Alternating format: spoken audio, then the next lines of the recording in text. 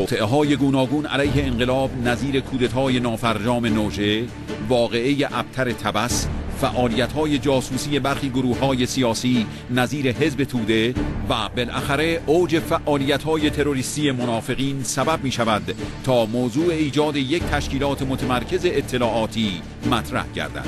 تیر ماه سال 1361 آیت الله سید علی خامنه ای خواستار تشکیل یک سازمان اطلاعاتی و امنیتی در کشور می شود 19 مهر ماه سال 1361 مجلس شورای اسلامی طرح تأسیس وزارت اطلاعات را بررسی می کند پس از بحث های طولانی در مجلس قانون تأسیس وزارت اطلاعات تصویب و پس از تایید شورای نگهبان قانون اساسی تشکیل این نهاد مهم قانونی می شود مرداد ماه سال 1363 آیت الله ری شهری به عنوان اولین وزیر اطلاعات نظام جمهوری اسلامی برای اخذ رأی اعتماد به مجلس معرفی. شبکه جاسوسی حزب توده با هوشیاری سازمان اطلاعاتی 36 میلیونی و اقدام نیروهای امنیتی و اطلاعاتی دستگیر و محاکمه می شوند آقای در جلسه قبل که شما نبودید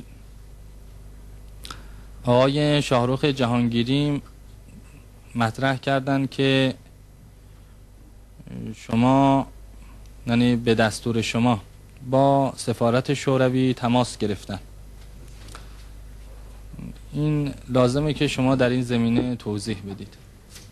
برز دادگاه میرسونم که ما از چند راه با مقامات شوروی سفارت شوروی در ایران ارتباط داشتیم. یه راه مستقیم من خودم ارتباط داشتم به وسیله دو نفر که در موقع حتما یه نفر بود وقتی او مریض شد و دیگه نتونست بعدم زندانی شد یه نفر دیگه جای بود گرفت.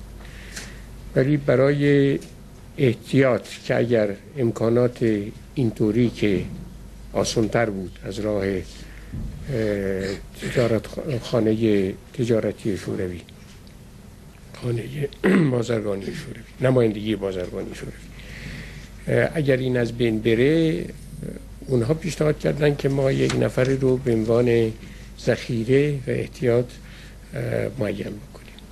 من با دوستمون خسرو مشورت کردیم و بالاخره به این نتیجه رسیدیم که شاروخ جانگیری رو برای این کار نامزد بکنیم.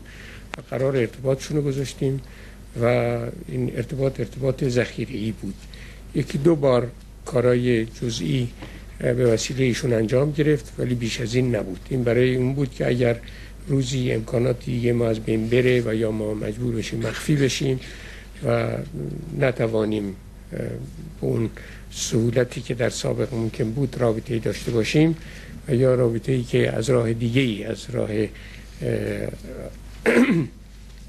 خسرو وجود داشت اونم از بین بره مثل اینکه یه مدت تعطیل شد اون وقت از این امکان استفاده